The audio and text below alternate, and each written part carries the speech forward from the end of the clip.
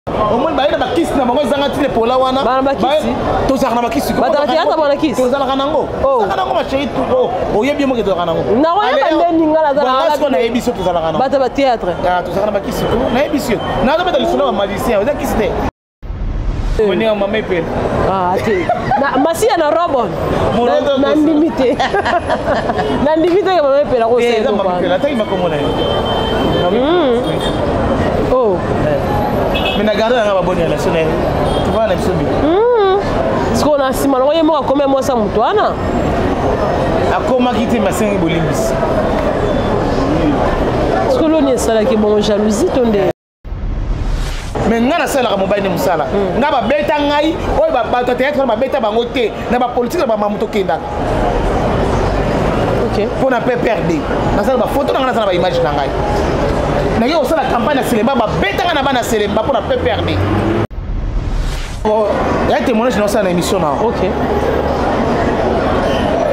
magicien moko boye avant nasambela mpena nzambe makasi na hypocrite te nabombaka likambo te eza témoignage na ngai osalongo na émission na magicien moko boye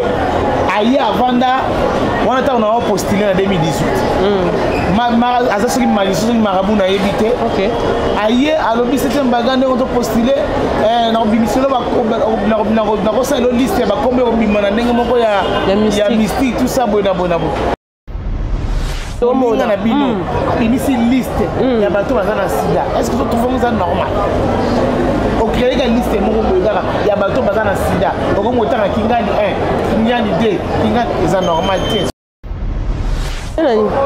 ngai naye na ntaba rit hmm. na okingoka ngai na bapreuve te omonasaki nanga te te me ape na lisasi ezali te oyo osaki oyelaki na biloko na ngai otaki etats-unis Théâtre efutaka biso soki tokosi. Ah. Oui, théâtre efutaka. Mais c'est normal aza artiste, un mm. vrai artiste à solo. Mm -hmm. Il faut abambelo ba biloko ebele na nzoto. Ouais. Faut abambelo biloko te, c'est que oza artiste te. Ba ko tika ko kufa ke de kaka boye te te. Ba biloko no sobi ma pas na bino ba journaliste parce que bino nde bozo lukaka ba problème oyo bozo créer ka ba troubles za bino ba journaliste. Mm.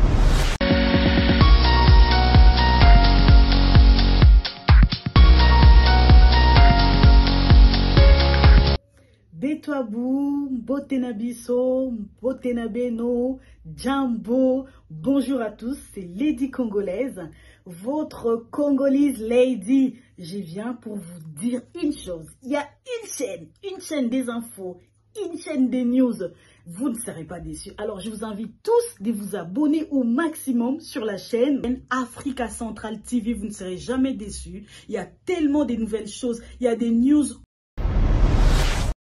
natombeli bino mokolo molamu bino nyonso tu bozwi libaku ya kolanda biso sur afrique centrale télévision bandeko balandi ya chaîne na biso napesi bino matondo mingi parce que bozalaka mpenza ebele ya kosoutenir afrique centrale télévision chaîne na bino et encore euh, bienvenue na émission na bino masolo avec naomi eyaba moto azalaka mpenza na esengo ya kopartage bamoma ya bien nayebi ke bozalaka ebelebele to bomona nga liboso ya batélévision na bino na batéléphone na bino en train de vous présenter mes émissions en tout cas un grand merci à franci mavimpi un grand merci à guy badjo kisamboka babiso oza na besoin bakata osuki ya bien salon eza kaka moko na orléans na france ya bisika okokuta mave coiffure ye moko na pointe ozwi mpenza coiffure ya bien un grand merci à masola jonas mon coach pourquoi pas dire un grand merci à daniel mongokese l'homme selon le cœur de quelqu'un mon conseiller privé à moi merci na bato nyonso to basutena yanga bagolois na bosani bino te bagoloise bagladiateur bato nyonso tout balingaka faire egola le padre babi bozala wana mpenza ebele ebele ya kosoutenir mosala ya faire egola le padre papa herve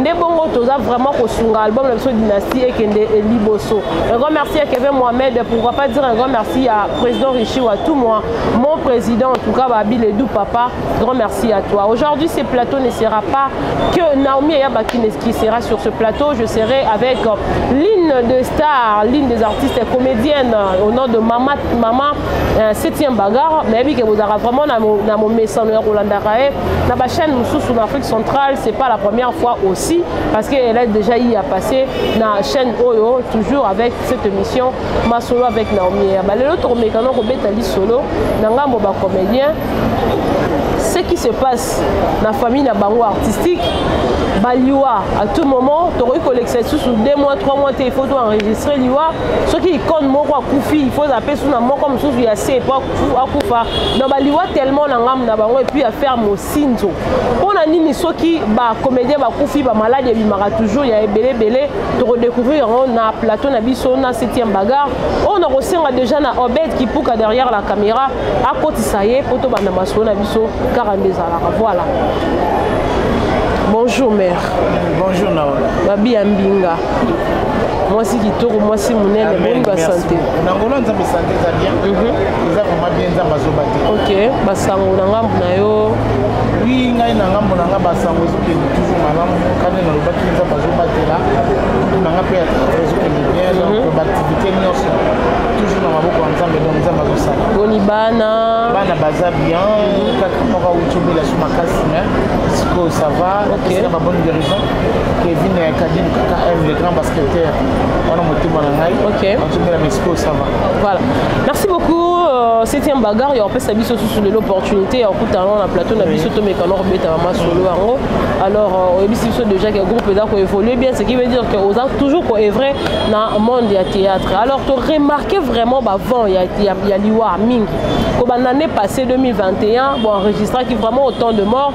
Et aujourd'hui encore, Baliwa est toujours. C'est dit à quoi Ma mort en cascade n'a pas Merci pour la parole, Naomi. Pour la liwa, nga na zanzambi te, pesaka muta pesaka bomoy zanzambi. OK. Muta retira ka pepe ma moto ezala zanzambi. Mhm. Donc euh, selon na bina bana au contredire. OK. Zanzambi pourquoi ozo bomabis pourquoi ozoboma mokili ozoboma bato parce que ezaka biso moko kaka te tozokufa mhm. donc même bajournaliste bazokufa bapoliticien bazokufa donc bato nyonso na monde bazokufa mwana potami lelo mpe akufi akei ateki omona ata libanda te donc euh, voilà eleo na ngai aloba yango wana donc tokontredire nzambe te soki ekweli na ngambo na biso donc euh, eleo na olobaka ezaka ke non euh, basasière condoléance na baartiste botenir biso regere te bolobana biso mabe te pourkui kaka bino te pourkui kaka biso te mpo liwa lokola nous nous sommes des artistes yango bozomona ke eh, comment dirais-je basango na biso ya matanga mpe baliwa na biso mhm. ezokopanzana directement c'est normal tokufela c'est normal tobelisa c'est normal tosala fete tozala na bamariage nga moko te na ngai nayokaki souci ntango noyeke non mélodie akufi esalaki nga bien te mpo mm. natali bonabisi nzambe mais pourquoi ça opesi biso esengo makasi tobali bali bali bali bali okomi ozongisa biso na bapasi vraiment esalaki ngai bien te okay.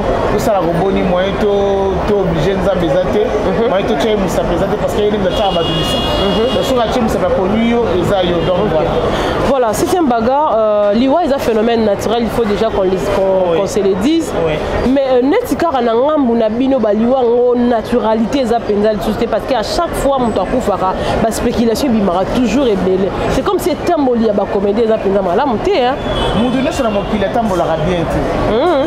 toyokaka eno ah paster oyo atambolaki mabe aye kozonga asengi bolimbisa epa nkolo moto aza parfait na mokili oyo aza te siko nayebi te na sens nini oyo olobeli mhm. ke biso bacomédien totambolaka malamu te hmm. po nameka mpe kolobela yango to explicité question tozwaka exemple ya oyo eza fréquent euh, oyo eza peut-être récent Mélodie Badiama paix à son âme déjà à Koufaki, mais juste après sa mort, ba, ma, ba, ba spéculation bimaki ya ndenge na ndenge, ba malade ya sida, ba misusu balo ba kuna estomac donc oh pena ba ba telemela eza sida, c'est qui prouve à suffisance que etambo na ba comédien netka ezalaka bien te penza. Mais c'est normal as artiste, un mm. vrai artiste à solo. Mm -hmm. Il faut ba mbelo ba bloque beye na nzoto. bambela biloko te seke oza artiste te bakotika okufa okende kaka boye te te babiloko nyonso ezobima mpa na bino bajournaliste parce que bino nde bozolukaka baproblème oyo bozokreaka batrouble eza bino bajournaliste mm. po soki bino bolobi ke non mwana mwasi oyo lokola akufi na estoma na ye to stope kaka na estoma te bino kaka bozokreye te akufi na sida ale boye bandi kotuna biso mituna po biso mpe torepondre mpe tondimake wi akufi na sida so akufi na sida eza malade nzambe azwa lokumu oh. liwa eza nzela moto te non nabi kakufi na yango te yo otuninga moto mm. kasi mpona kosunga te mpo lokola bato bazolobake no akufi na yango mm. bo tondimake wi akufi na yango mpo tosunga bato wana mpo motu soki abeli moto akondaka moto abelaka mpe malaria omona akondi makasi apres akomi kose rétablir apres elingi kolobaka te soki moto abeli seke abeli sida non ozomona toboyi te biso baartiste ezalaka soki poison te sida ozomona toboyi te mais toboyi evite bomeka mpe kolongola biso na bamakambo ya bamaladi okay.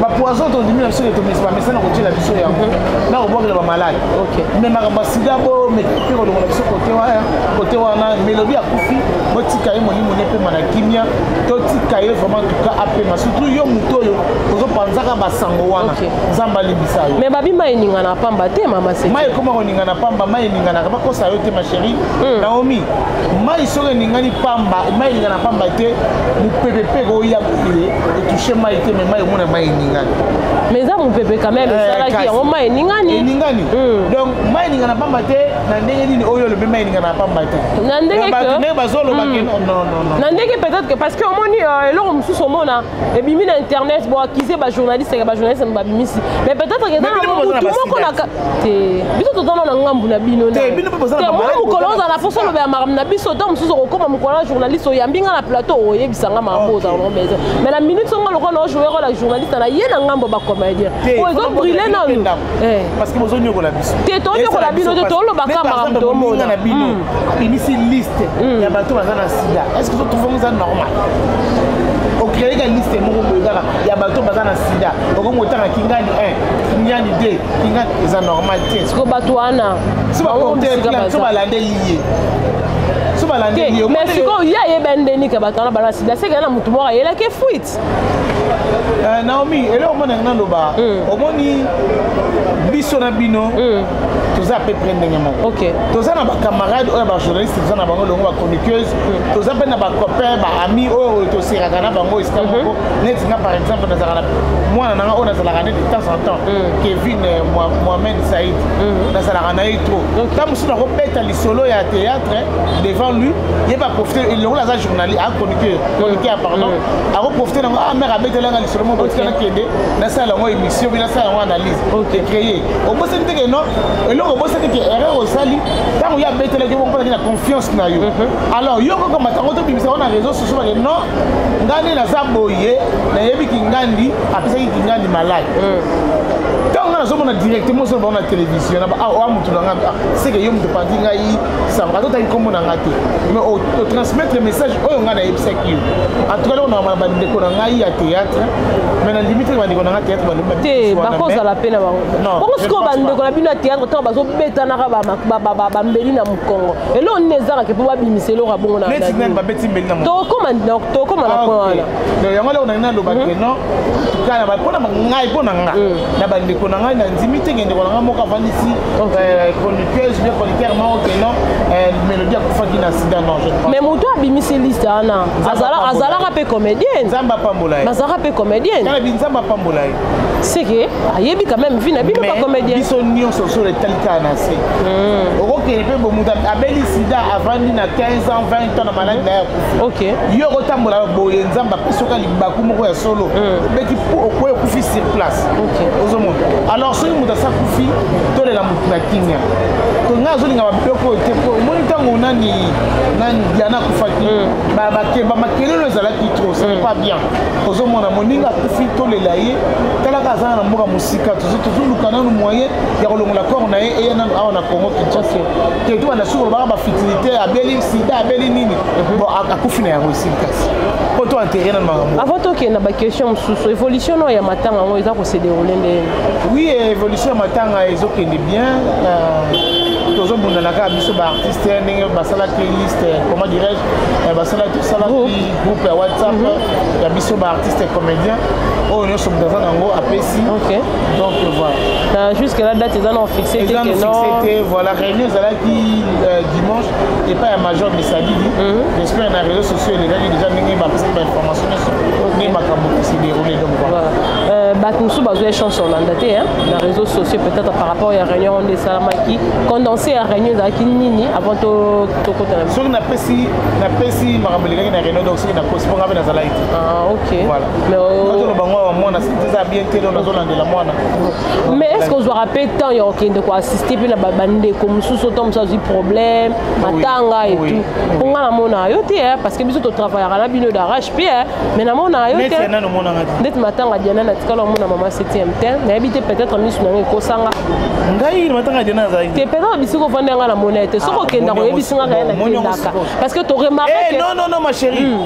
ntango diana akotaki hôpital okay. mwana na ngai mwasi ya liboso melisa mhm. malula napesa babote ebele mm. basalaki ye opération okay. bazwaki na deux malade na kati ya likolo donc neti diana bapere mwana na ngai lelo diana kufilo okay. donc na eta mwana azalaki nango nalekaka na émission ya miss lolo ya miss lolo ayambanga na hôpital na mwana okay. donc nakendaki te donc atuka wana vraiment nzambe azoyoka ngai omoni ke mwana ya liboso mpe na eta azalaki nango nakende omoni ke ntango ozokende distraction ekokota yo mwana aza na etat moko critique mhm. yo okende na bisika kaka oyo baproblème taka na matanga diana baproblème ezalaki trop na okende esika moko bememi ngai na distraction na moment nayaki concentré na baprière mpo mwana azala bien wana nayebi so vérité mm. mais ntango corps ebimaki mm. nayekoki donc voilà ozalaki na hôpital na mwana hmm. tozonga na biso na mambo ezali da kala eh, mais loko obeti yango quand même tozonga est ce que asistaka opi hopital mama koasiste wana tolandela yango te mpo tobetisa baninga ba makuti hmm. motu ta mosu akobelisa mwana na neti nga nabelisi mwana nga boye nabandi kobenga baninga nasala publicité nabelisi mwana naza na hôpital non non nayebisaki baninga te na informaki bato te mpona eh, eza sante moko Eh, ta mwana ezalaki critique nakoma na kobeta mitama parce que babi diable aza rise hmm. kobeta lisolo ya mwana boye mitema ya bato oyebi te ozomona biso bata théâtre na bamakambo na biso mpe mosusu moto mosusu mpe akotanga na hôpital bona ndenge bien boye mhm. aya kodola lelo mwana nalobi te ke toza bata bakisi oyo boye na boye na boye te comprendre donc ezaka koprotege kaka bamakambo par rapport a par rapport donc voilà na sens wana toza koya mpe otala dodo lelo mwana ah chéri babilon mpe d'avoir le mal de loin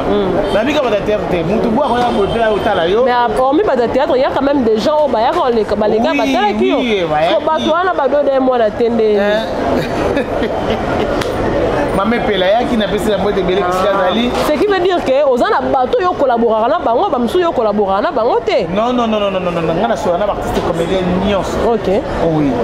Mais bah oh bah il bah oh bah ça ming non non bah bah dit branché. Hmm. Non bah oh ya ngai bah ça bah voilà. Eh bah c'est ce qu'on a. nini? Kuna nani Nathalie Winnie hmm. Azalaki. Na pesa mbote belé bébé Real.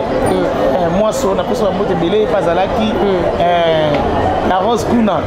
Eh ma fille chérie pas Azalaki donc voilà bah tu vas Azalaki. Net cordon riche à tout moi. Ye pas ça aza de côté. Mais ayaki otala ngai. Président okay. ayekotala nga na hôpital donc mais siko mpo na nini bokabwani wana ezalaka ezalaka lokola nzeye bakan na bakan septième bagarre so azwi problème bamama epela baye kingani so azwi problème bakingani wana baye pourquoi cette séparation nzambe ye moko akabwanaka na bayekoli na ye ah. oui beta toleka nzambe akabwanaka na bayekoli na ye mm. atali boye nzambe ye moko aye nzambe na biso aloka masumu okomona nzambe na biso eza lokola masumu tika ye nde président na biso ya baartiste commun ok président na biso ye moko mpe aza na parti na ye mpe aza na staff na ye atambolaka na bango ah. ah ben oui akotambola na biso nyonso te ngai mpe vie ya queen mada mpe napesi bango te ebele bisika azali maser chéri ye mpe aza na staff na ye mpe atambola me abiki esete bagar azali mais aza mpe na staff nde atambolaka na bango suzi bantu abiki esete bagar na nga azali me aza na staff na ye mpe atambolaka nango epela ayebi ke naza na 7e bagar soki nakobenga kinga milongo ya 7e bagar aza nano awa don aza nano na 7e donc voilà c'est un peu ça donc kote wana tomemaka nango baguerre te donc euh, eza bongo tokozala biso nyonso totitambolaka esika moko ngulu pardon mutu na mutu aza na mutu na ye donc voilà mais c'est leur constat tosala neti kaka na bino bacomédien boyokani ezalaka mpenza te boyokani te ezalaka partout nao toloba yango awa meme bino mpe ezalaka nango kaka te mm. dernièrement nao tomona bino ya bino bajournaliste boswani makasi bolongwani kolongwana ezalaki ya terrible oyo mosusu journaliste chroniqueuse mosusu na kati elamba boweli nini point de interrogation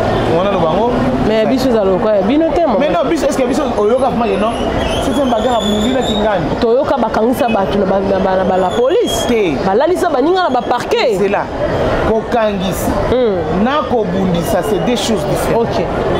oyokaki nga nabundi na kingani na nzela kokangisa soki otali mpe biso tokoma bachroniqueuse tokoma bato ya youtube okay. kobunda ya théâtre na ndimi te mais ya youtube oui so bakangisa bakangisa moninga na ndenge ya réseau sociaux ta mosusu alobaki eloko moko esalaki bien te na youtube tusa na kindenge ya kijournalisme na ye mm. epesi créer trouble wana mais na kati ya théâtre mm. mais babi le linge sale se lave en famille ntango ndeko na yo moko ya théâtre aye alobi mabe bongo epo na yo est ce que yo ifo olukaka okangisa ye est ce que boyokani place wana eza to bolingo ezali oui c'est ça le problème normal oza na raison nga eloko wana alobaka yango nga na vie na ngai nakosa yo te banda nabotama hmm. nakoti une fois na kasho hmm. kasho na ngai liboso nakotango na age ya 16 ans nakotango ndenge nini par rapport ya makambo oyo nazalaka nango na se mm. papa na ngai noko na ngai mpe ya son ame noko toma akufa azalaka major papa na ngai ayebisi noko na ngai nalingi okanga mwana na yo otya ye na kasho babeta ye fini bavandisaka na kasho de 8 heures à 16 heures noko na ngai obisaka na 16 heures na kasho navanda bona olela teme naki mwana moke mpo na bapekisanga eloko wana banoko pekisanga na yo nazoyoka te Bon, euh, c'est le passé, bah, tu vas comprendre le logo, on a le déjà. Ok. Voilà. Tant papa kangisaka banda papa nanga kangisaka nga wana mm. ti lelo nayebi lisusu te ke non nalinga kofunda motu na motu na parke te meme na kasho nake boye nakangisa ye boye na bome nalobaki turo nde nakokangisa motu moko ngai wi non teatre te mwa mobali moko batelefone na ngai eutaki poto eyaki eyebi kaka kodeverie napesi ye na mbongo na batablete ya bana na batelefone napesi na deverie so nayebisi yo napesa depuis janvier c'est un garçon bien nasololaka na ye bien depuis janvier ti lelo toza na mois de juin mm. mois de juin amanga so na telefone te azokima ngai na eseki nzambe alimbisa ngai atanke mosali na ye mm. mais ye nde kaka nde nakokanisa mm. oui donc okanisaka bato te mesiko me na baninga yo quand même bakanisaka baninga na ngai na bafunda ngai na parke te oyaka te pourtant mosusu yesu ozalaka na ozala na baproblème na bango te mais ya quand même de gens oyo peut-être bakenda mpe na baboloko moninga mpe ya théâtre akangisi ye alors pourquoi ne pas kosoigne kaka likambo en famille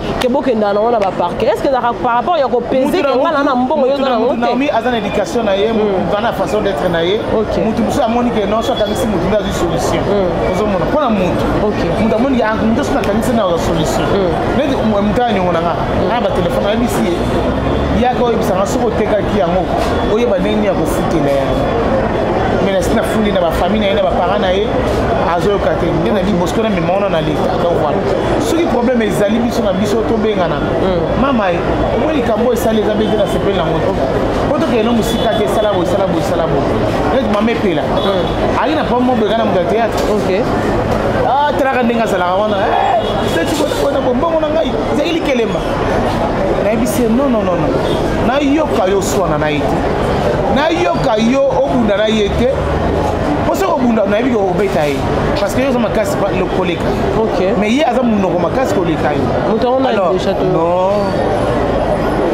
toyeba babilyango aza te mpona kotanga bakoma ya bato okay. naotanga oyo ya ngai mpe mm. nayebisi yanga bino nononono fanda kosala eloko moko après un mois babengi nga sete bakabisa motu no akozwa mbongo na yenga bomoni bongo sikoso bobundaki omoni yango sodaki fille moko mabe nanga na bakenda nga na tya commentaire na baepela swanisa ye sala boye sala boye sala boye ozomona nabomi moto mpo ya nini bandeko mibale bazala bien bongo nde balifaka na baninga kozala na moninga malamu eza nde bongo ata boyokanaka na ye te neti eloko osalinga mpasi na contribue mwa mbongo ndambo na tia contribution natala na réseau sociaux boye batangi bakoma bato nyonso tunga batangi ngai te oh. esalinga mpasi esalinga nayoki mpasi ngai bi o oh. 12 yango na mbongo na ngai moko soki botie ngai susu 12 botangi bato na botangi ngai te mais napesi mwa ata mpo na ngai ya moke wana bokotanga mpe komona ngai te vraiment na bino bato bosalaki bamakambo nyonso siko bato batangi nkombo oyo ya bato oyo batie mbongo na eza bajournaliste to eza bato baa na kati ya corporation bango moto batangi nkombo seke moto oyo opesaki na maboko na ye akomisi mbongo te botie mbongo ozo comprendre ngai te hmm. batie nkombo na yo na kati ya groupe ya whatsapp nkombo na ozomona septième baga apesi mais ntango réunion esalami batangi liste ya bato nyonso basete komasa eloko osepelisi nga eske moto ando atanga bakombo wana yo sikoyo bato ya poto sikoyo babengi ngai babala ngai osete oh, mbaga tolandi émission ah opesi contribution ya nani ya matanga te mpo na nini esali nga bien te nabengi ndeko moko ya teatre nakotanga nkombo na ye te ah, mama mpo na nini nkombo na nga botangi yango te nayebi te nasala bino nini parce que komona nga na groupe ezali réponse oh, eh, alobi te limbisa mama semaine prochaine eh, semaine tokoti oyo tokosala baémission mosusu tokotanga bite ata ya moke nanga babi pipila moke mpe swa oyo nazalaki nango mpo naza na mwana malade mais quand même na kati mwa ndambo na bi te mbongo akisa mwana na contribue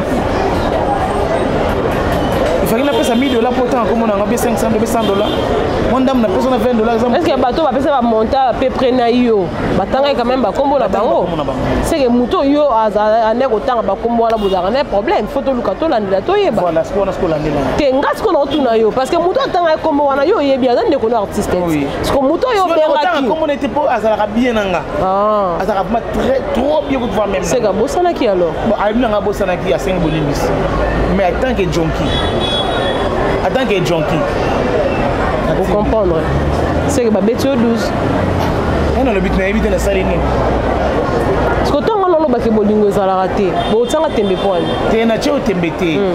natye otembe te nayebi bolingo ezalaka te mai namoni ke tokomi kobongisa bobongisi eh, oyo tokomi kobongisa ntango nasoanaki ngai nasoanaki ngai se tozobongisa te tosalaka hypocrisie hmm. te me babi hypocrisie eza malamu te meme bahypocrite bakoherite royaume de sie te pourquoi faire l'hypocrisie na place bolakisa bato lopenake yango moninga sikoyo nayenga kozala hypocrite te mais biloko mosusu esengaka mpe fo osalaka hypocrisie mpo motu wana acomprendre système yo ozokendele nango te voilà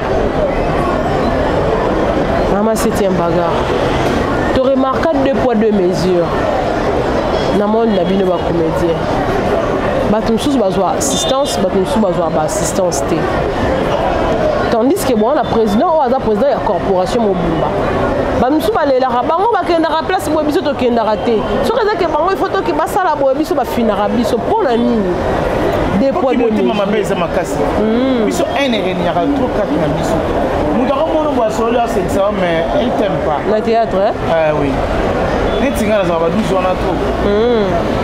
nga ata balobi yo président de la république abengisi maxite baka baotya ye poni mais je te dis vrai est ce que parce que ojouaka mabe to nayebi te soki one pa population de fuba yebisa nga so na jouaka mabe ou pas bien soki soki na jouaka mabe nekomona nga esalama te ntango monde entier ayebi septième bagar donc seke na jouaka bien seke na cartona ntango ndakobenganga ndakobenganga na na japon ok ndakobenganga na bamboka mosusu kilikila baleke mposi na londre paris babeya bamboka na biso biso hmm. soki baetats-unis babaa bamboka na biso mais tokenda nokuna na barussie ntango moto abengo dayala aza na russie aza na japon aa na funacoche moto abengo na funacoche aa bano septième bagar nalandi yo boye na boye na boye na boye oleki émission na, na télévision moko boye balandi yo bata, bata, bata libreville mm. babengi yo septième bagar tolingaka yo mingi okay. donc seke nasala nkombo navandisa nkombo na ngai omoni nga mwana nzambe atanke mwana prophète konde polo dominique mm. nasutukelaka makambo wana te omoni eloko ya nzambe eloko ya nzambe eloko ya nzambe ngai nana eloko ya nzambe eloko ya nzambe babundisaka yango eloko ya nzambe batelemelaka yango eloko ya nzambe baderangeaka yango kaka batushaka yango kaka mpo sozo eloko ya nzambe te bakoderange te bakotusha yo te moto wana etoile nayebi solo moko ya témoignage naosala na émission na okay. magicien moko boye avant nasambela mpe na nzambe makasi na hypocrite te nabombaka likambo te eza témoignage na ngai basalaka na émission na magicien moko boye aye avanda wana ntango na postule na 2018 hmm. aza soki magicien soki marabu nayebi te aye alobi septième baga ndenge topostule Eh, nakobimiselo nakosala elo liste ya bakombo ya kobima na ndenge moko ya mystique tout ça boye na boye na boye okopesa mpe 100 dollar na bimiselo mpe mbongo ebele mpo na campagne tout ça boye na boye nayebisi ye problème te yaka jour aye elobi na yango ntango aye elobi na yango nayebisi ye ah na mbongo te me naye na mbongo ngabi na na mbongo te wana parti na biso epesi biso première première nani première première première, mm. première compte mm-hmm. mpo na kobanda bamakambo da ya mikili wana nazali nano na pprd mm. sikoyo nakoma na kongo ini pa maître kasi ochangea pwani ochangea parti pwani oh. ozali na pprd okomi na kongo ini pwani kuna balingi ngai te yo balingaka yo te kaka partout mpo balingaka yo te kaka partout donc déjà ntango déjà ntango bato bazokende pa bazokende pa ya mama hmm. ngai kutu mwana pprd hmm. mpo bamisusu wana bazalaka wana pprd te mais siko ngai mwana pprd naso comprendre ngai ngai naa mwana pprd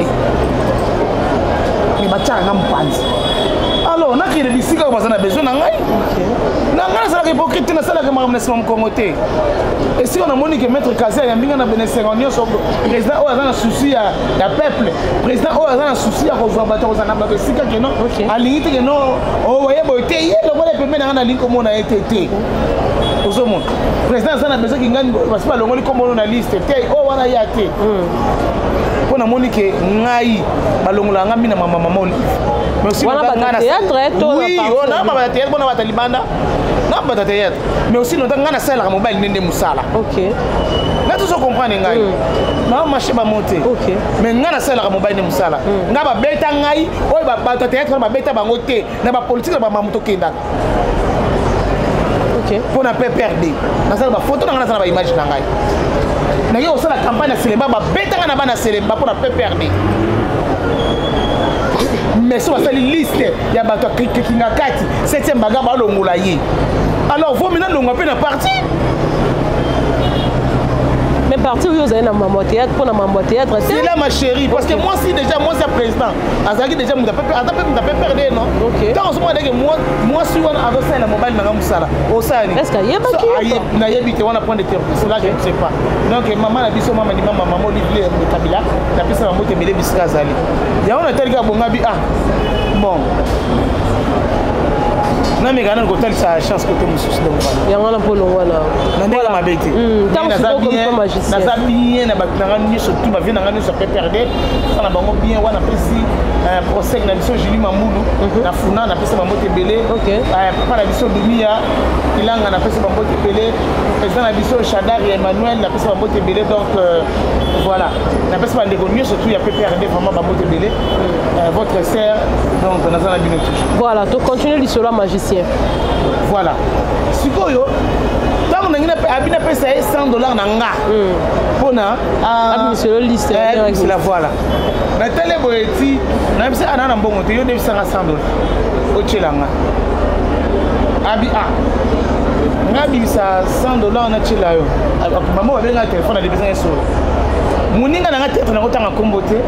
avandaki wana bato mosusu bavandaki wana ntango atelemi ah, septième banga makila makasi soki nazwi mbongo na nga natie abomela nga makambo na nga ntango hmm. naosolola masta wana avandi akoma na whatsapp nga naosolola ya telefone nasolo nasolo nasolo nasolo esili namoni mpe message nekoti ntango nasili osolola na eh, interesse o oh, naza na ye wana komeli nga ndenge nini interesse nga lokola biso bale ba jonki interesse te polobi yango deux fois te eh, hmm. eh, esprit te ah. ta biso moto osala mono mbendre yo mojob nzambe alobi sala na sala bosala nyonso elingi me molimo na ye osimba te donc septième bagarre aza job so lokola mwana mwasi na jobes ah. otiango na femini eh, mais kasi na jobes mwana bongo job mwasi azala na bible Eh, kasi nga soki naza ye nga na remplace job totikaka job job nalonga jobes yo lingo obakisa mona ona dictionnaire ya bakona suprime eh, agogan ah. abina azalaka jobes ah. franchement en tout cas mère tozonga lisu na lisu ya matanga moke hmm? hmm. matanga ndeko na biso mélodie oyo tozokontinue kolela bakosenga bacontribution sikoyo tini tokóma na niveau ya obelela na public bosunga biso pardon toza na mbongo te théâtre efutaka bino te soki tolobi ke théâtre efutaka biso soki tokosi ah. théâtre efutaka toza na bato na biso oyo neti ngai nde naza na maître kasibo ozomona soki na na problème moko boye mhm. oyo ezotungisa nakoya pa maître kasi papa naza na besoin ya boye boye papa naa besoin 1000 dollars mo bien 500 moko boye tusa ah ok oyo akozala yango makoki abimisa pesi te oyo esunga yo yaki ozo comprendre mhm. donc eza na mutu oyo atelemela esika na mpasi tomoniki a ah, aza prêtre a ah, bona bo ana ah, mutu atelemela bisika oyo atelemela eza mpe bato mosusu aza na mutu ne oyo afulaka ye asoutenaka ye mais misala na biso moko mm. efutaka te théâtre ya kala na elelo eza ndenge moko te tosala ngo mpo na visibilité osala ngo botala bokombo na yo esila te kombo ekende te yango moni tobelelaka toujours mama delis nyakero yaka mama olive lembe kabila yaka bafanatike population botalaka biso boye botya biso maboko na bino mpo soki bango te tosepelisaka mpe bango te so bango batye maboko te monteke ozala mpasi donc voilà c'est un peu ça théâtre eza na mbongo te mais to remarquer que moi vent moko boye eza na bangambo eh, moi bato mosusu omona mpenake batie mpena asengi par contribution ya 20 dollar ye apesi 200 basengi mpena mwa 200 ye apesi 1000 parce que mais baza mpe kaka na kati ya monde ya théâtre aoroule mpe na carence akoma mpe soso aliaka eloko ekoki na mongongo na ye hmm. nauti oloba ngo awa eza na mutu akangama aza na mutu nayebike mutu nanga aza plus fort ntango ake aderange mutu wana zongo na théâtre te moto abeti monduki ne quelque part babimiseli ye ake apesi me bato wana bakoma baproducteur ya bafilme pourtant bazaka bato oyo bazalaka lokola biso moko toza bato banini nakolinga te motu wana asoutenir setien baga asoutenir euh, via asoutenir euh, euh, motu pakala bie motu boye non songolo donc esimba te aolinga azala bien privé na ye ale alamba azwi abombi ye quelque part azala yango lelo tomona bajeune fille ba jeune fille toloba kaka bandeko na bino ya théâtre bakoma mpena kosala baproduction ya bafilme ya bango moko omona mpena baobengi mpe patronne ya entreprise moko songolo productrice ya bafilme siko mbongo wana toyebi bango na mosala ya théâtre apa wana toyebi bango na mosala mosusu te mbongo wana euta wapi pendant ke ngai nayoka bakomede ebele balelaka mbongo ezalaka te mbongo bango bazwa wana oyo bafutaka bato oyo bakoma obenga na loba la patrona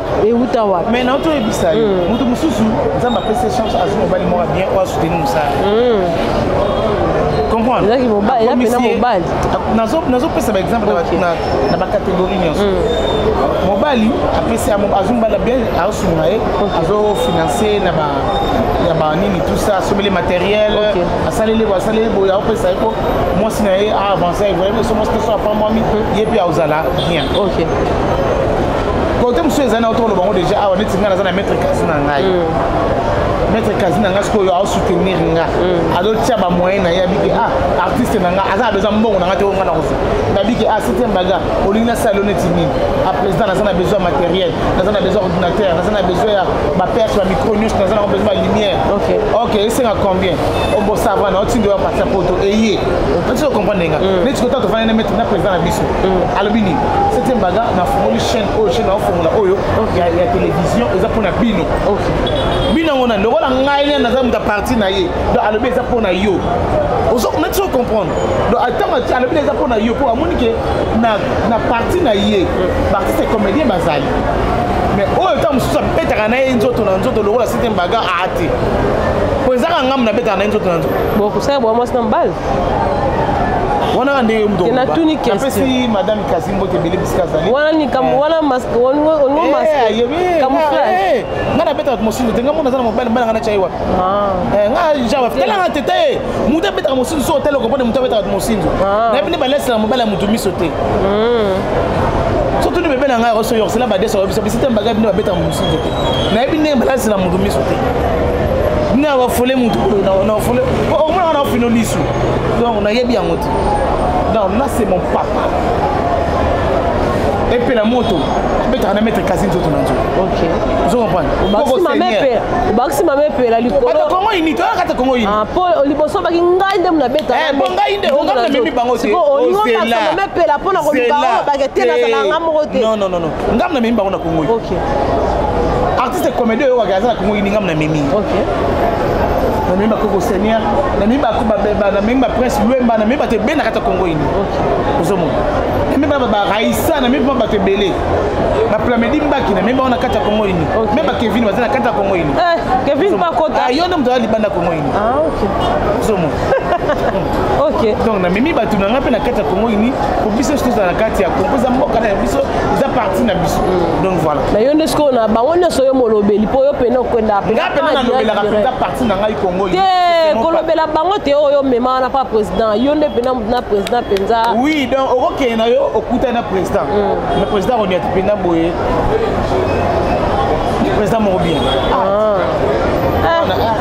bino tokoma banga bino na théâtre maître kasi fait na théâtre tokoma banga bino ndenge atanga na maître kasi aza 7e baga ah. bango mpe baza na bato na bango ata oye na kati ya congo uni mais boye bango congo uni eza ya biso nyonso mais maître kasi ya 7e baga yo artiste oui nga na baka ya ngai kotanga na sufi na congo uni na nga te moi bitaka mitema mabe mingi kotanga na sufi na parti na nga oyo motu moko aoya te tata omona ke makambo ebimi pa ekomi o président chaque autre président yango babiloko wana ayokaka yango te eya koma ke non omoni baye na bakisi na bango ezanga ntina epola wana tozalaka na bakisi tozalaka nango oh. zaka nango machéri oh, oyebi ye moke tozalaka nango nayebi so tozalaka nango ah, tozalaka na bakisi nayebi so nazobeta lisolo ya bamalisien oza kisi te théâtre ya libanda théâtre tozalaka na bakisi oh. banovalgie ezali baaspirine kisi wana epesaka mbongo te kisi wana biso tosombaepesaka mbongo soki omeli yango biki ozwimamatika bozalaka na kisi oh, oh,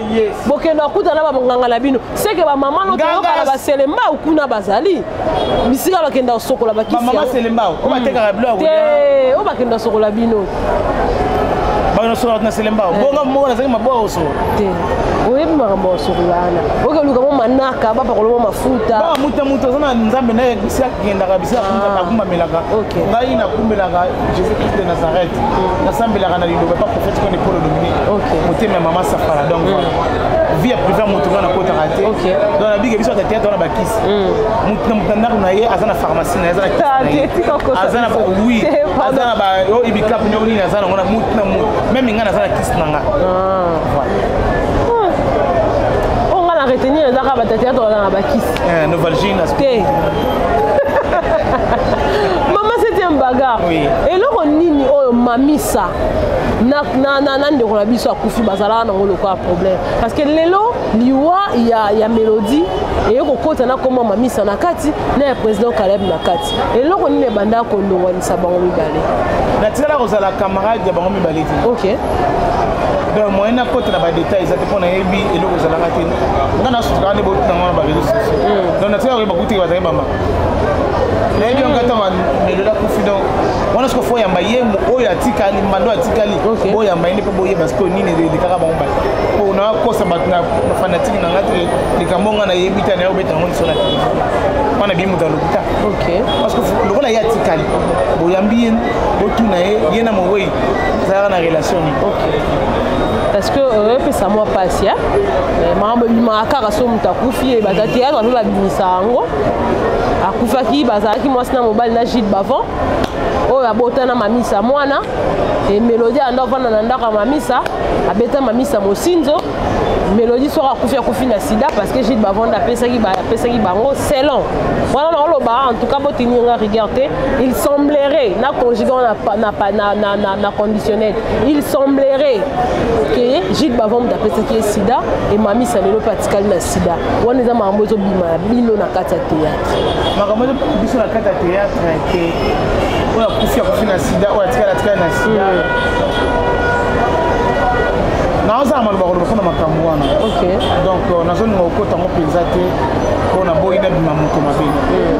donc euh, yango na tolobaka ke nayebi barelation na bango bazalaki nango te mhm. mpo nayebaki oyo akufi na yango oyo akufi na yango te bongo ndeni coïncidence ya liwa wana gilles bavon après gilles bavon akufi eza normal soni ecoyo matanga akufaki mhm. basi nini nyonso bakendaki seke emoni teke ezalaki na eloko moko ntango so basine bacontra na bango bapake na bango basine na mobali na bango ntango mobali ake amemi basi na ye merina mosusu akufi na mosusu akufi na L'estomac. L'estomac. A raisonner, papa bana, babotana ye tape tanga nde moninga mosinzo mais gile bava abotana na mamisa nayebi makambo wana te hmm. nayebi ke gile bava abota na ye mais nayebi teke abota oh, ah, mosinzo wana nayebi yango te en tout cas nayebi yango te omoi te nabeta monoko mpo nayebi nayemoa te na bisani na monoko nango mpo nayebi te mais phénomène mosinzo eza makasi na théâtre hein, mama mpo na nini mais neti ngai boye mm. kolinga mobali ya moninga na kokango te na mwa daya mobali wana loba nayeba te mobali wana bomba sekreke na bima na kingani mais soki mobali wana ayebisi nga bima na epela mais nalelaka na nga mpe yo nakobeta takudetete eh, eh. eh, kana kata kibonzambe nzambe akopesa nga sur makasi na beto mpena coup de tete makili ebimi na zolo ntina oh. biso mpo na nini omoni mibali mosusu biso basi kaka nde tobimisaka faiblesse devant mibali yo omoni ke mobali oyo aza mobali ya moninga na yo yo ozwi ki faiblesse te na nyonso ki mwasi na yo nyonso wi oza mwasi fo ozala ozala du tendre mais ki douceur no ki tendresse no okosala wana mobali ya moninga te okofololanga mobala moninga te mpo lelo ekomaki yo na moninga na bokota na baguerre bokota na baproblème ebele mpo bamona nini yo nde oza na mopende yo nde moza na kitoko parce que biso nyonso na mipende toza mpe na momba kitoko na tete kaka kitoko te mai naza représentable ok voilà to évite biloko wana mobali ya moninga tika ye na tika ye azala ye yo mpe luka ya yo so nzambe nde napesi yo te apesi yo nano te soki apesi yo ozwi ozwi oyo ya yo po mibali mosusu bazalaka komona abombi secret keno nabima na suzi banke abombi aye alingi yo septième baga na ndenge suzi ayebeli septième ayebeli septième baga eza likambo koyeba mutu koyeba mutu so bango bayebi nga septième baga nde nakobima na mobali na ngai te mpo nga namona yango valeur esila ngai ata abetaki na abeti susu na nga so na mito ntango tokovanda ensemble boye e eh, nakokango te naomi hmm. tovanda ensemble sikoyo libisango oza mwana oza leki sikoyo ngano bacamarade yo mobali na yo alingi nga ngai nakomi kobima na ye ntango tokoki tovanda ensemble tomona masanga boye yo alolali mobali bofani na mobali no boye nga mobali na yo auti kobeta ngai omoni taka sunga na valeur te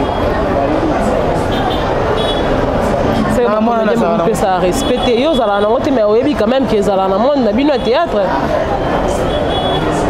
ezala mpe na bino bajournaliste toza na moni na bino ezala mpe na bino te epai na biso ezali wana mpena tokoboya yango te epai na bino ezali masiko ya bino ekoma ya mabe ya bino ekoma ya mabe mpe bokomela yango ntina binemi oyebi mpena ke mobali ya kingani kingana wana mpena apesanga mpena mbongo mpe boye kingana na boko nano na ndako ne mais olingi ye nga nga kutu mobali moko alingaka bala ngai te mais mm. alingaka azwanga comme deuxième femme ok bala ngai na mbongo ebele mm.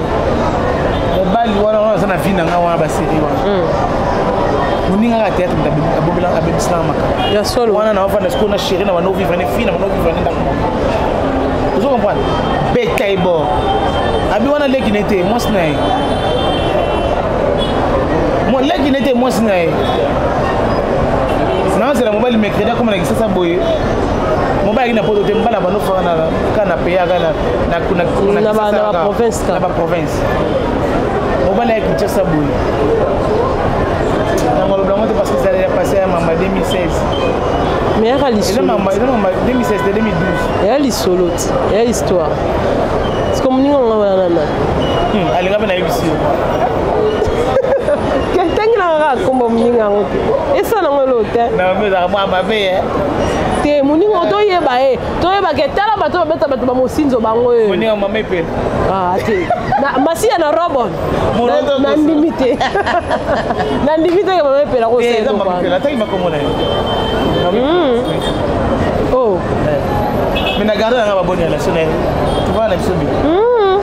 sikoyo na nsima nango ye moko akomi ya mwasi ya moto wana akomaki te masengi bolimbisi sikoyo loni esalaki bongo jalousie to nde eza komepela te mona nga evidemment sikoyo nani mamepela te non c'est déjà passé kama moningo mpe akenda soki Eh, mosusu mpe ye omoni amonanaka mpe siste akenda hmm. soki braza soki point noir ntango makambo ekomeli kuna ekomaka biso artiste tosalaka basime nalobi kasi fo totanga ye po toyeba te po toyeba totanga ka na ndenge ya bien totanga ka na ndenge ya bien mpo bato bayeba ke moninga yango wana nde aza na amonana lisusu te na théâtre akenda mpo bayebaka déjà basalelaka ye suivi ekoma te lisanga eh, eh, liboyela biso lokola lokola nani ndenge ayaki tosalaka suivi bomoni moninga azomonana te bandeko na ngai hmm. omoni initiative oyo tozwi oyo eza hmm. malamu mingi ya kovanda ya kokangisa ya koluka bato hmm. tosala effort moninga oyo soki azomonana susu te toluki ye soki ta mosusu aza sino makoki te tokangisela ta bidola bidola bido ta ebele ata 20 dola 20 dola me tolukeli ndako abi avandi na mwa mbongo ya commerce mpe asalaka ata commerce mpo a se debrouiller omoni biso baoyo misala ba 12 eleki mingi tozwa yango na mwa mpasi mais tellement ke nzambe apesa biso makasi ya koluka neti mm. na boye nauti mboka ovoyageaki na voyagaki nauti mboka oye nani ngai naye na ntaba mm. oui nauti mboka ngai na bapreuve te omonasaki na ngai te mm. te me awa mpe na lisasi ezali oyo saki oyelaki na biloko na yo te états-unis nazo vérité nauti voyage bilamba oyo bayelinga mpa mwana nga ozomonaka na na rose ah. yango nayelinga mpo nalata yango oyo tomotana na sani na ngai namemaki ya bilo ya kolia ah. nakoso mpona nini kaye yango oyo nauti oyo nauti okotisa banini bantaba nakoso mpona soni nauti mboka nauti kuna na mbuba mbuba oza wapi okoyeba te chéri na bakongo ah, kasi eh. fo oloba ata na congo central mpo bato baye eh. donc euh, koto naosala nanga mwa malewa na ngai mm. eh, koto naosala mwa malewa na ngai koto oyo naokende nazwi mwa mataba na ngai butu nakomi ya 8 heure mm. tina ndosolasona omoni omona image ko bato batala awuti mboka awuti mboka parceke baotala septième bagarre mwasi kitoko bolaki états-unis ake dubai yo ke mboka ah, yango oyo bomoninga nga mo ngai ofinga na mboka en plus naloba nakotindela ofide yango mpo otya yango donc outi mboka natinanga mboka yo olobaka eh, kasi mpo nazanga villageoise nazanga villageoise su matadiane hmm. nazonga na mboka nanga nakeluka biloko naye koteka marchandise so mpo ani te dubai mpo ani te dubai dubai o oh. mpo mpona oke dubai moto akangi nga mpo nake dubai ntango mosusu ozwi na mbongo te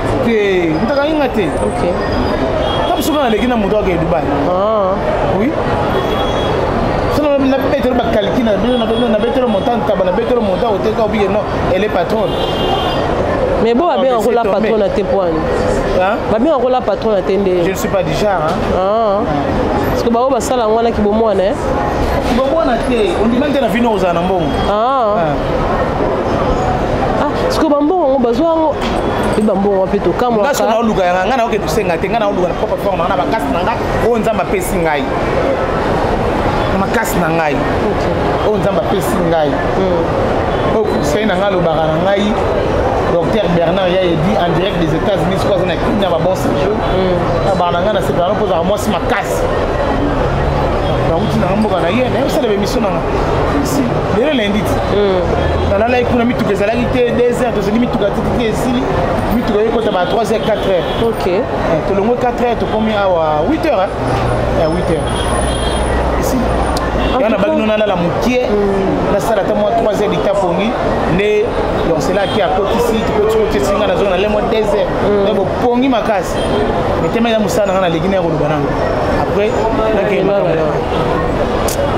ah. mambo oloba eza ebele naza wana mpo na yo la télévision c'est l'air la télévision c'est l'air oui oui mm. vraiment ata mbala nsima toko ya minga lisusu na to continue nga te mbala nsima na osepela pana ya tobeta masolo moko epe na ye koma lokola ndire émission ya kati ya lobetu ah. wana oyebisa nga mpena nani apesa yo mpasi na vie na théâtre problème te mpo na nini septième bagarre azalaka mpenza trop attaché na bandeko mosusu te ya théâtre problème te tosona te nga alingi oloba ngo kasi siko te olobi nanga oyamba nga eh, mais pona mais pona question oyo te wansi kogarda ngo po na vande le pere tobeta masolo ok eh, na vande le pere tobeta masolo ata semaine prochaine tosala beta kuna nanu mélodie mm. bongo tokosala mosi mais sikoyo mongo nde bomonela ekoya bakan mais semaine oyo ekozanga koya te semaine oyo ekoya déjà bandeko na ngai théâtre vraiment en tout cas félicitation na bino bandeko na ngai bazo babeti odus vraiment bozo toza babo te mais tozo te yo komitya nao te po babeti oyo da 12 po bandeko na ngai ok eh. batika nde mitema mabe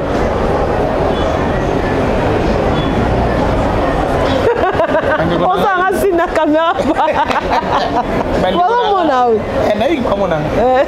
bandeko na ngai vraiment kuta mpo na bino na ndenge totelemi biso nyonso mpona mama mélodie mhm. vraiment boye nde bien mhm. totelema mpe na bandeko bamonanaka susu te nicole kitoko amonana susu na circulation te nicole kitoko azali tonduka bato bamona susu te tobiki basala nkombo azali toluki ba shogun bato ebele bazomonana te surtout cheko azobela assistance eza te eza te ozomona aza na bomoi ere yango loko azosenga azosenga te mais biso moko tozali katitaki bandeko te mabelela ye mpenza asengaki boyo basunga ye tosunga ye mhm. tosunga ye vraiment ndeko na biso alanda traitement bi tolinga te akei bongo tosali groupe ya whatsapp te wana nde nasepela te Voilà, merci beaucoup maman septième bagarre. En tout cas, c'était vraiment un plaisir pour nous de partager plateau Oyo. Euh, surtout en ce qui concerne l'UA. Net quand il faut beaucoup de ma bonne délire. Hein. Faut que tu aies un examen pour nos positions. Au moins, je vous demande qu'on a un type comme ça maintenant, ma bonne examen, dans ma bataille là. okende mpe kozonga na yo otiki psaume 23 lokola wi le bonheur et la grâce e accompagne yo vie na yo mobima éternellement otie ezai bato batangaka mingi ezai bacomprendre makambo nini eza na keloma na kati ya ezai parce que ya beaucoup deja batangaka biblia te napesi bino kaka ezai botanga ezai botangaka mingi ezai mobimba boko découvrir bocomprendre sikoyo eloko nini ya nzambe azosala na kati ya mwana mwasi oyo setembaga botangaka mingi ezali botangaka bakiso botangaka mingi bokodekouvrir makambo ebele nzambe apambola bandeko nyonso bananinga partout dans le monde oyo nabeti libako atuka nzambe alimbisa ye septième bagar na bino alingaka bino mingi septième bagar aza wana mpona bino tokomi na fenete napesa maloba mm. mm. vraiment atuka bolimbisi mpona kotika mbala moko te topesaka maloba ah, mm. tuka oyo amoni ke nabeteli libaku mpola limbisa vraiment toza bato euh, merci mpe mbote na bandeko na nga nyonso ya théâtre bakoka nyonso bagroupe nyonso ya théâtre vraiment tuka nzambe azala na biso tobondela makasi mpo na maladi na mipepe ya bakufa oyo oya lisusu na biso bacomédien te nzambe apambolaki biso deja na mabala kala mingi te ya décembre septembre bato mpe azobala obala obala po osutuki makasi bone naza lenge moto akobala te te natuni kaka te obala po obeteli ngango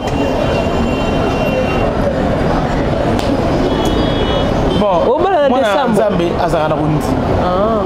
te wana eza kondima to fixe déjà date na chéri mais chéri na ngai nayebisi ngai te obala ebongo yo olobi desambe ndeni mais na ngai lasiko naza na foi kuna nde tokende ondiya obalanga ah, eh. fongo ememi mbamo décembre eh, ah wana eza prophétique amen oshanga yango comme ça osu janvier eh, eza jour anniversaire na ngai po esala bien franchement antuka talaka nzambe apesi biso mabala hmm.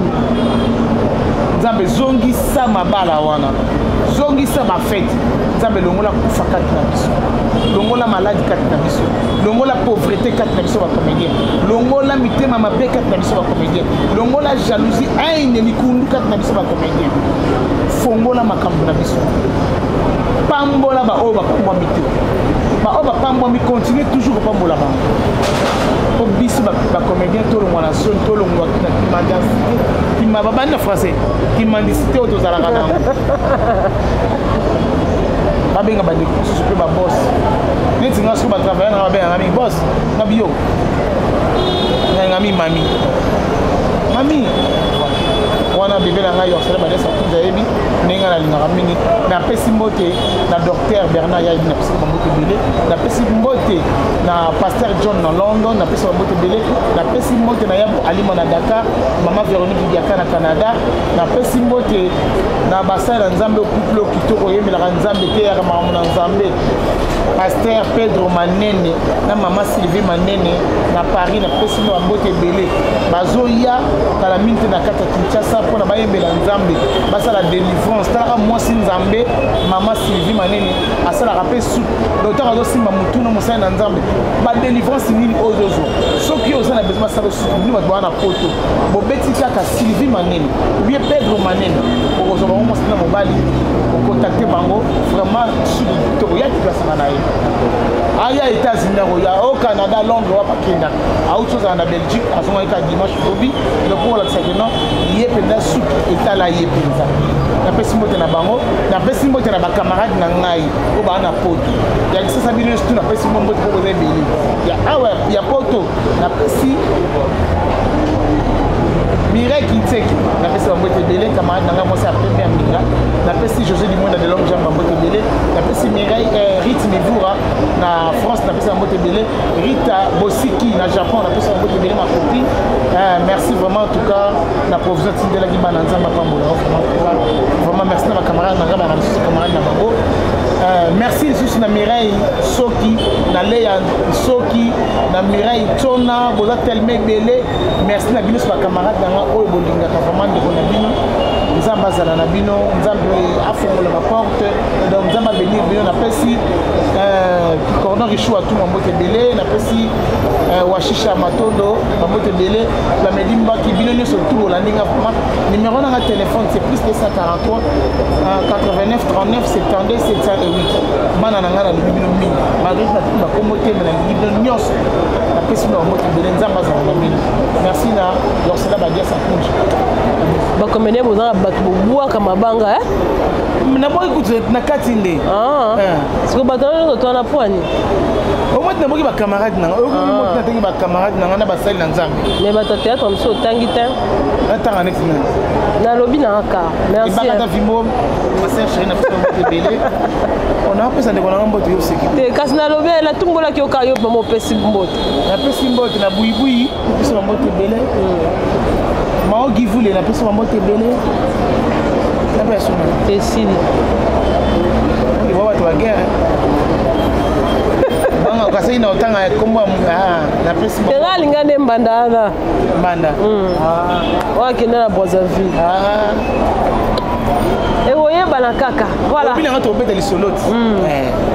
tobeta voilà merci beaucoup euh, bozalaki mpenza ebele ya kolanda biso mission na bino masolo avec naomi eyaba sur afrique centrale télévision en tout cas bocontinue vraiment kosabonne au maximum mpo bozalaka vraiment informé à temps et à l'heure na banouvelle publication na biso ntango oza kosabonne oappuye cloche ya notification bongo nde okobanda kozwa bamessage ya banotification na biso ebanda kokotela yo un grand merci à obed kipuka qui était derrière la caméra Félicitations à Gloirdy Kulanduka, papa ya bébé ya sika. En tout cas, faut te boire ba champagne to mela après ça bien. Merci beaucoup, to kuta na mokolo koya et bonne suite de programme na chaîne na Bino Afrique Centrale. Voilà. Au revoir.